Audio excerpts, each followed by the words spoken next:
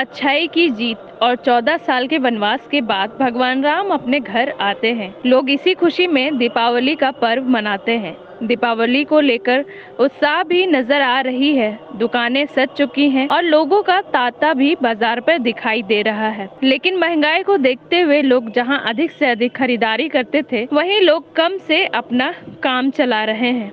Ma'am आपसे पूछना चाहूँगी कि दिवाली को लेकर लोगों में कितनी उत्साह दिखाई दे रही है? बहुत ज़्यादा है बट अच्छा। उत्साह दिखाई बहुत है। अ, लोगों का लाइटिंग को लेकर साज सजावट को लेकर कैसा डिमांड हाँ? डेकोरेशन के लिए बहुत अच्छा डिमांड है।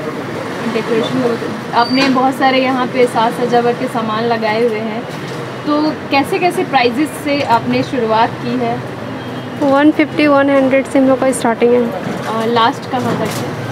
लास्ट थाउज़ेंड थाउज़ेंड लोगों का कैसा रुझान रहा है? लोग आपके शॉप में कितना सजावट की चीज़ों को लेने के लिए आ रहे हैं? हर चीज़ तोरण वगैरह रंगोली का हर एक चीज़ लेने आ रहे हैं वो। रंगीन पेपर पिछले साल के अपेक्षा इस साल थोड़ा बहुत कम मतलब की भीड़ है। पिछले साल जैसा माहौल था मतलब कि कोरोना लेके भी था भीड़ था लेकिन इस बार महँगाई लेके बहुत मारा है। मतलब महँगाई लेके रेट सब चीज़ का बढ़ा हुआ है। इस चलते रेट भी मतलब मार्केट में आदमी भी नहीं है और कस्टमर भी बहुत कम है। लोगों का क्या डिमांड है? जैसे लाइटनिंग लाइटिंग का डिमांड थोड़ा मोड़ा तो रहता ही है ऐसा बात नहीं है। लेकिन जो बिकती है वो तो हम लोग मंगाते ही हैं और बिकता ही है। नहीं बिकने का तो बात नहीं है। लड़ी का डिमांड तो रहता ही है लेकिन अभी समय है मतलब एक हफ़्ता का समय है इस बीच में हो सकता है कि बाज़ार सुधर जाए।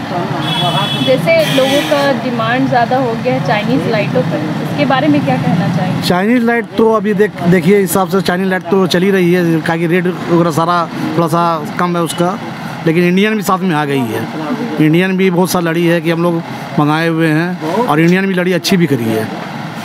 कितने से कितने प्राइस से आपने स्टार्ट किया है? देखिए स्टार्ट पच्चीस रुपये से लेके आपको हज़ार रुपये तक लड़ी मिल जाएगी। ठीक है सौ सौ है ऐसा कोई कुछ खास नहीं है लेकिन ठीक ठाक है। लोगों का थोड़ा बहुत ज़्यादा लगा हुआ है हाँ थोड़ा ज़्यादा बहुत। नहीं ज़्यादा नहीं चल रहा है बस। जो जो सौ सौ बोलते चल रहा है बस वही चल रहा है। सौ रुपये से चालू है हज़ार दो हज़ार। फैंसी में और भी ज़्यादा आते हैं। लोगों का कैसा रुझान है? बहुत अच्छा रुझान है। पहले के मुताबिक जैसे दो सालों में लोगों ने बहुत सादे तरीके से सारे पर्व को मनाया। इस बार दिवाली को लेकर में लेकर के लोगों में बहुत सारे उत्साह वैसा कुछ नहीं है। ये पूजा का त्यौहार है तो पूजा त्यौहार वैसा ही जैसा सेम पहले भी था वही भी है। उसमें कोई अंतर नहीं है। आपकी दुकान में कैसा रहा है? लोगों का तांता लगा अच्छा ही है अभी धीरे धीरे बढ़ ही रहा है।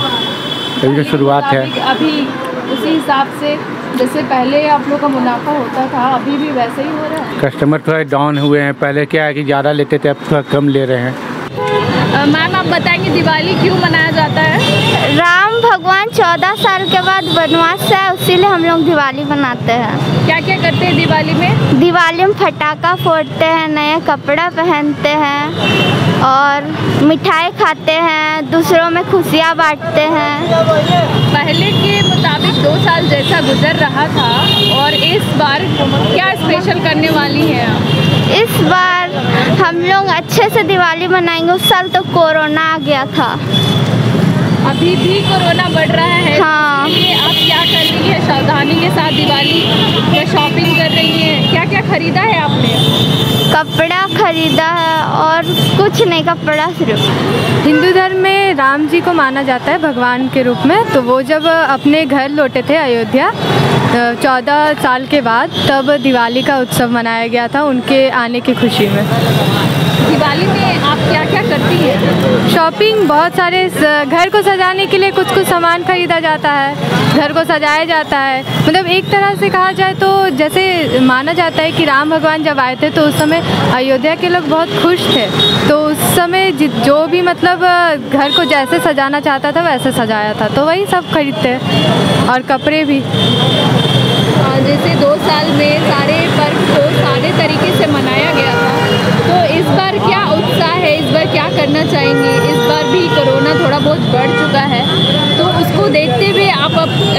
को कैसे मनाएँगे? देखिए दो साल में तो कोरोना की वजह से बहुत कुछ मतलब अच्छे से फेस्टिवल नहीं मना है तो इस बार थोड़ा उत्साह ज़्यादा होगा कह सकते हैं क्योंकि इस बार कोरोना थोड़ा कम है तो फिर भी मतलब रखा जाएगा।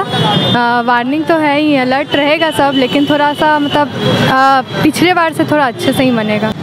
मैम दिवाली को लेकर के आप क्या क्या करना चाह रहे हैं? मैं मैं दीपावली में लेती हूँ सबसे पहले लक्ष्मी लेती हूँ लक्ष्मी जी गणेश जी लेती हूँ आखिर के लाइट लेती हूँ लाइट बत्ती और उसके बाद फिर जो घर में सजाने वाला वो लेती हूँ। अब मुझे बहुत अच्छा लगता है घर सजाने में दीपावली। जैसे दो साल पहले दो साल दो साल से पहले से मतलब अभी कुछ कम लग रहा है हमको कोरोना के लेके। कोरोना को लेकर अभी जिस तरह से धीरे धीरे कोरोना रांची में भी बढ़ रही है उसको हाँ। देखते हुए आप घर पे प्रोटोकॉल का इस्तेमाल करती हाँ। हैं? सैनिटाइजर मास्क हाँ मैं सब कुछ करती हूँ अभी तक। तो अभी आपने मास्क का भी इस्तेमाल करती हूँ। हाँ? अभी आपने क्या क्या मार्केटिंग किया है? मैं अभी कपड़ा ली हूँ लड़की लोग के लिए। आ दीपावली का सामान लूँगी घर सजाने का सामान लूँगी अभी लाइट दिया लक्ष्मी जी। इस बार कैसा लग रहा है? जैसे दो साल पहले तो पहले से बहुत कुछ अच्छा लग रहा है मुझे। पहले जो दो साल में मार्केट नहीं खुले थे, नहीं खुले थे। तरीके से बना रहे थे तो इस बार कैसा हाँ है उस पहले दो एक साल से पहले अच्छा अभी अच्छा लग रहा है मुझे।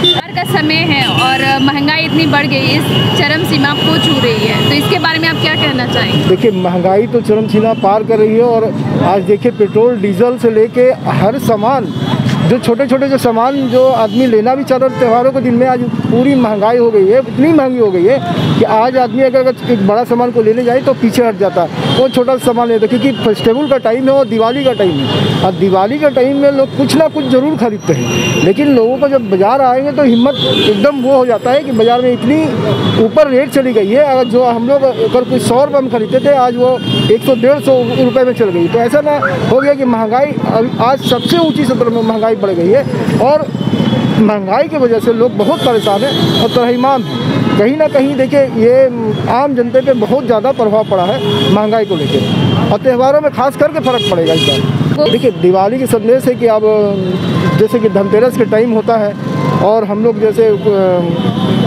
धनतेरस के दिन कुछ ना कुछ लेते हैं तो ज़रूर आप कुछ ना कुछ खरीदें और दिवाली सब परिवार सबके साथ मनाएँ और खुशियाँ मनाएँ, क्योंकि देखिए, महँगाई तो आनी जानी, लेकिन परिवार में जो खुशी होती है, वो एक जगह है तो परिवार में खुशी ज़रूर मंगाए, क्योंकि महँगाई तो है ही, अब महँगाई तो जान मारेगी ही पर्व में कहीं ना कहीं खलल डालेगी। झारखंड मुक्ति मोर्चा के पूर्व प्रवक्ता जितेंद्र गुप्ता।